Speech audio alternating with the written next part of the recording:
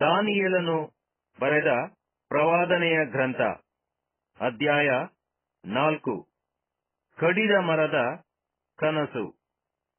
ಲೋಕದಲ್ಲೆಲ್ಲ ವಾಸಿಸುವ ಸಕಲ ಜನಾಂಗ ಕುಲ ಭಾಷೆಗಳವರಿಗೆ ರಾಜನಾದ ನೆಬೂಕದ್ನೆಚ್ಚರನ ಪ್ರಕಟನೆ. ನಿಮಗೆ ಸುಖವು ಹೆಚ್ಚೆಚ್ಚಾಗಲಿ. ಪರಾತ್ಪರ ದೇವರು ನನ್ನ ವಿಷಯದಲ್ಲಿ ನಡೆಸಿರುವ ಮಹತ್ತುಗಳನ್ನು ಅದ್ಭುತಗಳನ್ನು ಪ್ರಚುರಪಡಿಸಬೇಕೆಂಬುದು ನನಗೆ ವಿಹಿತವಾಗಿ ತೋರಿ ಬಂದಿದೆ. ಆತನ ಮಹತ್ತುಗಳು ಎಷ್ಟೋ ಅತಿಶಯ. ಆತನ ಅದ್ಭುತಗಳು ಎಷ್ಟೋ ವಿಶೇಷ. ಆತನ ರಾಜ್ಯವು ಶಾಶ್ವತ ರಾಜ್ಯ.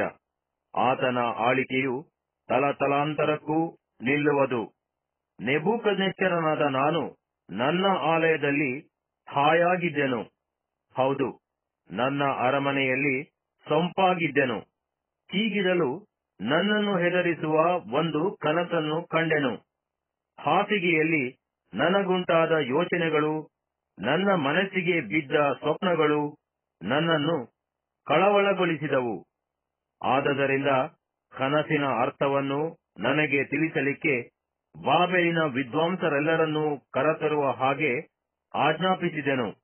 ಜೋಯಿಸರು, ಮಂತ್ರವಾದಿಗಳು ಪಂಡಿತರು, ಶಾಕುನಿಕರು, ಇವರು ಸಮ್ಮುಖಕ್ಕೆ ಬಂದಾಗ ನಾನು ಆ ಕನಸನ್ನು ತಿಳಿಸಲು ಅವರು ಅದರ ಅಭಿಪ್ರಾಯವನ್ನು ವಿವರಿಸಲಾರದೆ ಹೋದರು. ನನ್ನ ದೇವರ ಹೆಸರು ಸೇರಿರುವ ಬೇಲ್ತೆಶಚ್ಚರನೆಂಬ ಅಡ್ಡ ಹೆಸರನ್ನು ಹೊಂದಿದವನು, ಪರಿಶುದ್ಧ ದೇವರುಗಳ ಆತ್ಮವುಳ್ಳವನು ಆದ ದಾನಿಯೇಲನು ಪಟ್ಟ ಕಡೆಯಲ್ಲಿ ನನ್ನ ಸನ್ನಿಧಿಗೆ ಬರಲು ನಾನು ಆ ಕನಸನ್ನು ಅವನಿಗೆ ಹೀಗೆ ತಿಳಿಸಿದೆನು. ಬೇಲ್ತೆಶಚ್ಚರನೇ ಜೋಯಿಸರಲ್ಲಿ ಪ್ರಧಾನನೇ, ಪರಿಶುದ್ಧ ದೇವರುಗಳ ಆತ್ಮವು ನಿನ್ನಲ್ಲಿ ನೆಲೆಯಾಗಿದೆ ಎಂದು ತಿಳಿದಿದ್ದೇನೆ. ಯಾವ ರಹಸ್ಯವೂ ನಿನಗೆ ಅಶೋಧ್ಯವಲ್ಲವೆಂಬುದು ನನಗೆ ಗೊತ್ತು. ಆದದರಿಂದ ನಾನು ಕಂಡ ಕನಸನ್ನು ಅದರ ಅರ್ಥವನ್ನು ನನಗೆ ತಿಳಿಸು. ನಾನು ಹಾಸಿಗೆಯ ಮೇಲೆ ಮಲಗಿದ್ದಾಗ ನನ್ನ ಮನಸ್ಸಿಗೆ ಬಿದ್ದ ಕನಸುಗಳು ಇವೆ. ಇಗೋ, ಲೋಕದ ನಡುವೆ ಬಹು ಎತ್ತರವಾದ ಒಂದು ವೃಕ್ಷವನ್ನು ಕಂಡೆನು. ಆ ವೃಕ್ಷವು ಬೆಳೆದು ಬಲಗೊಂಡಿತ್ತು. ಅದರ ತುದಿಯು ಆಕಾಶವನ್ನು ಮುಟ್ಟಿತ್ತು. ಅದು ಭೂಲೋಕದ ಕಟ್ಟ ಕಡೆಗೂ ಕಾಣಿಸುತ್ತಿತ್ತು. ಅದರ ಎಲೆಗಳು ಅಂದ ಹಣ್ಣುಗಳು ಬಹಳ. ಅದರಿಂದ ಎಲ್ಲಕ್ಕೂ ಆಹಾರ, ನೆರಳು, ಭೂಜಂತುಗಳಿಗೆ ಆಶ್ರಯ. ಕೊಂಬೆಗಳು ಆಕಾಶ ಪಕ್ಷಿಗಳಿಗೆ ನೆಲೆ. ಅದು ಸಕಲ ಜೀವಿಗಳಿಗೂ ಜೀವನ. ನಾನು ಹಾಸಿಗೆಯ ಮೇಲೆ ಮಲಗಿದ್ದಾಗ ನನ್ನ ಮನಸ್ಸಿಗೆ ಬಿದ್ದ ಕನಸಿನಲ್ಲಿ ಅನಿಮಿತನಾದ ದೇವದೂತನು ಆಕಾಶದಿಂದಿಳಿದು ಗಟ್ಟಿಯಾಗಿ ಕೂಗಿ, ವೃಕ್ಷವನ್ನು ಕಡಿಯಿರಿ, ಕೊಂಬೆಗಳನ್ನು ಕತ್ತರಿಸಿರಿ, ಎಲೆಗಳನ್ನು ಉದುರಿಸಿರಿ, ಹಣ್ಣುಗಳನ್ನು ಚೆಲ್ಲಿರಿ, ಮೃಗಗಳು ನೆರಳನ್ನು ಬಿಟ್ಟು ಬಿಡಲಿ ಪಕ್ಷಿಗಳು ರೆಂಬೆಗಳನ್ನು ತೊರೆದು ಹೋಗಲಿ, ಆದರೆ ಬುಡದ ಮೋಟನ್ನು ನೆಲದಲ್ಲಿ ಉಳಿಸಿ ಕಬ್ಬಿಣ ತಾಮ್ರಗಳ ಪಟ್ಟೆಯನ್ನು ಅದಕ್ಕೆ ಬಿಗಿಯಿರಿ. ಅಡವಿಯ ಹುಲ್ಲು ಅದರ ಸುತ್ತ ಬೆಳೆದಿರಲಿ. ಆಕಾಶದ ಇಬ್ಬನಿಯು ಅದನ್ನು ತೋಯಿಸಲಿ. ಭೂಮಿಯ ಹುಲ್ಲು ಮೃಗಗಳಿಗೆ ಗತಿಯಾದಂತೆ ಅದಕ್ಕೆ ಗತಿಯಾಗಲಿ. ಅದಕ್ಕೆ ಮಾನುಷ ಹೃದಯವು ಹೋಗಿ ಮೃಗದ ಹೃದಯವು ಬರಲಿ. ಹೀಗೆ ಅದಕ್ಕೆ ಏಳು ವರುಷ ಕಳೆಯಲಿ. ಇದು ಅನಿಮಿತರ ತೀರ್ಮಾನ, ದೇವರ ತೀರ್ಪು. ಪರಾತ್ಪರನು ಮನುಷ್ಯರ ರಾಜ್ಯದಲ್ಲಿ ರಾಜನಾಗಿ ಅದರ ಆಳಿಕೆಯನ್ನು ತನಗೆ ಬೇಕಾದವರಿಗೆ ಒಪ್ಪಿಸಿ ಕನಿಷ್ಠರನ್ನು ಅದರ ಮೇಲೆ ನೇಮಿಸುತ್ತಾನೆಂಬುದು ಜೀವಂತರಿಗೆ ತಿಳಿದು ಬರಬೇಕೆಂದೇ ಈ ತೀರ್ಮಾನವಾಯಿತು ಎಂದು ಸಾರಿದನು. ರಾಜನಾದ ನೆಬೂಕದ್ನೆಚ್ಚರನೆಂಬ ನಾನು ಆ ಕನಸನ್ನು ಕಂಡೆನು.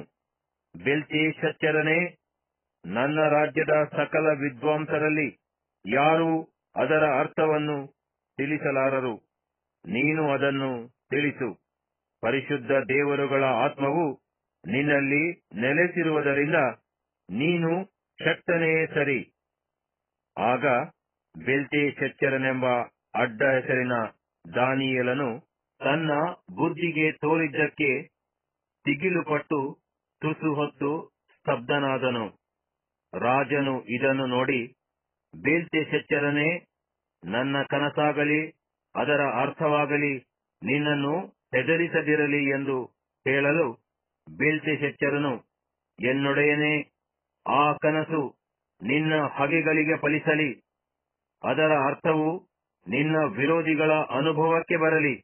ಯಾವ ವೃಕ್ಷವು ಬೆಳೆದು ಬಲಗೊಂಡು ಆಕಾಶಕ್ಕೆ ತುದಿಯನ್ನು ಮುಟ್ಟಿಸುತ್ತಾ ಲೋಕದವರೆಲ್ಲರಿಗೂ ಕಾಣಿಸುತ್ತಾ ಅಂದವಾದ ಎಲೆಗಳನ್ನು, ಬಹಳ ಹಣ್ಣುಗಳನ್ನು ಬಿಡುತ್ತಾ ಎಲ್ಲಕ್ಕೂ ಆಹಾರವನ್ನು ಒದಗಿಸುತ್ತಾ ತನ್ನ ನೆರಳನ್ನು ಭೂಜಂತುಗಳಿಗೆ ಆಶ್ರಯವಾಗಿಯೂ, ತನ್ನ ಕೊಂಬೆಗಳನ್ನು ಆಕಾಶ ಪಕ್ಷಿಗಳಿಗೆ ನೆಲೆಯಾಗಿಯೂ ಮಾಡುತ್ತಾ ಕನಸಿನಲ್ಲಿ ನಿನಗೆ ತೋರಿತೋ, ಆ ವೃಕ್ಷವು ನೀನೇ. ರಾಜ ನೀನು ಬೆಳೆದು ಬಲಗೊಂಡಿದ್ದಿ. ನಿನ್ನ ಮಹಿಮೆಯು ವೃದ್ಧಿಯಾಗಿ ಆಕಾಶಕ್ಕೆ ಮುಟ್ಟಿದೆ. ನಿನ್ನ ಆಳಿಕೆಯು ಲೋಕದ ಕಟ್ಟ ಕಡೆಗೂ ವ್ಯಾಪಿಸಿದೆ. ಅನಿಮಿಷನಾದ ದೇವದೂತನು ಆಕಾಶದಿಂದಿಳಿದು ವೃಕ್ಷವನ್ನು ಕಡಿದು ಹಾಳು ಮಾಡಿರಿ. ಆದರೆ ಬುಡದ ಮೋಟನ್ನು ನೆಲದಲ್ಲಿ ಉಳಿಸಿ. ಕಬ್ಬಿಣ, ತಾಮ್ರಗಳ ಪಟ್ಟೆಯನ್ನು ಅದಕ್ಕೆ ಬಿಗಿಯಿರಿ. ಅಡವಿಯ ಹುಲ್ಲು ಅದರ ಸುತ್ತ ಬೆಳೆದಿರಲಿ. ಆಕಾಶದ ಇಬ್ಬನಿಯು ಅದನ್ನು ತೋಯಿಸಲಿ. ಅದಕ್ಕೆ ಏಳು ವರುಷ ಕಳೆಯುವ ತನಕ ಕಾಡು ಮೃಗಗಳ ಸಹವಾಸದ ಗತಿಯು ಬರಲಿ ಎಂದು ಸಾರುವುದನ್ನು ರಾಜನಾದ ನೀನು ನೋಡಿದೀಯಲ್ಲ. ರಾಜನೇ, ಇದರ ತಾತ್ಪರ್ಯವೇನೆಂದರೆ ಎನ್ನೊಡೆಯನಾದ ಅರಸನಿಗೆ ಉಂಟಾಗಿರುವ ಪರಾತ್ಪರನ ತೀರ್ಪು ಹೀಗಿದೆ. ನೀನು ಮನುಷ್ಯರೊಳಗಿಂದ ತಳ್ಳಲ್ಪಟ್ಟು ಕಾಡು ಮೃಗಗಳೊಂದಿಗೆ ವಾಸಿಸುವಿ. ದನಗಳಂತೆ ಹುಲ್ಲು ಮೇಯುವುದೇ ನಿನಗೆ ಗತಿಯಾಗುವುದು. ಆಕಾಶದ ಇಬ್ಬನಿಯು ನಿನ್ನನ್ನು ತೋಯಿಸುವುದು. ಪರಾತ್ಪರನು ಮನುಷ್ಯರ ರಾಜ್ಯದಲ್ಲಿ ರಾಜನಾಗಿ ಅದನ್ನು ತನಗೆ ಬೇಕಾದವರಿಗೆ ಒಪ್ಪಿಸುತ್ತಾನೆ ಎಂಬುದು ನಿನಗೆ ತಿಳಿದು ಬರುವುದರೊಳಗೆ ಏಳು ವರ್ಷ ನಿನಗೆ ಹೀಗೆ ಕಳೆಯುವುದು ವೃಕ್ಷದ ಬುಡದ ಮೋಟನ್ನು ಉಳಿಸಿರಿ ಎಂದು ಅಪ್ಪಣೆಯಾಯಿತಲ್ಲ. ಇದರ ತಾತ್ಪರ್ಯವೇನೆಂದರೆ ಪರಲೋಕಕ್ಕೆ ಸರ್ವಾಧಿಕಾರ ಉಂಟೆಂಬುದನ್ನು ನೀನು ತಿಳಿದುಕೊಂಡ ನಂತರ ನಿನ್ನ ರಾಜ್ಯವು ನಿನಗೆ ಸ್ಥಿರವಾಗುವುದು ಎಂಬುದೇ. ಆದ ಕಾರಣ ಅರಸೆ, ಈ ನನ್ನ ಬುದ್ಧಿವಾದವು ನಿನಗೆ ಒಪ್ಪಿಗೆಯಾಗಲಿ. ನೀನು ಧರ್ಮವನ್ನು ಆಚರಿಸಿ. ನಿನ್ನ ಪಾಪಗಳನ್ನು ನಾಶಗೊಳಿಸು. ಬಡವರಿಗೆ ಕರುಣೆಯನ್ನು ತೋರಿಸಿ ನಿನ್ನ ಅಪರಾಧಗಳನ್ನು ಧ್ವಂಸ ಮಾಡು ಇದರಿಂದ ನಿನ್ನ ನೆಮ್ಮದಿಯ ಕಾಲವು ಹೆಚ್ಚಾದೀತು ಎಂದರಿಕೆ ಮಾಡಿದನು. ಇದೆಲ್ಲ ರಾಜನಾದ ನೆಬೂಕದ್ನೆಚ್ಚರನ ಅನುಭವಕ್ಕೆ ಬಂತು. ಹನ್ನೆರಡು ತಿಂಗಳು ಕಳೆದ ನಂತರ ಅವನು ಬಾಬೆಲಿನ ಅರಮನೆಯ ಮೇಲೆ ತಿರುಗಾಡುತ್ತಾ ನನ್ನ ಮಹಿಮೆಯು ಪ್ರಸಿದ್ಧಿಗೆ ಬರುವಂತೆ ನನ್ನ ಸಾಮರ್ಥ್ಯ ಬಲದಿಂದ ರಾಜನಿವಾಸಕ್ಕಾಗಿ ನಾನು ಕಟ್ಟಿಸಿಕೊಂಡಿರುವುದು ಇಗೋ, ಮಹಾಪಟ್ಟಣವಾದ ಈ ಬಾಬೆಲ್ ಎಂದು ಕೊಚ್ಚಿಕೊಂಡನು ಈ ಮಾತು ರಾಜನ ಬಾಯಿಂದ ಹೊರಡುತ್ತಿರುವಾಗ ಅರಸನಾದ ನೆಬುಕನೆಚ್ಚರನೇ ನಿನಗಾದ ದೈವೋಕ್ತಿಯನ್ನು ಕೇಳು.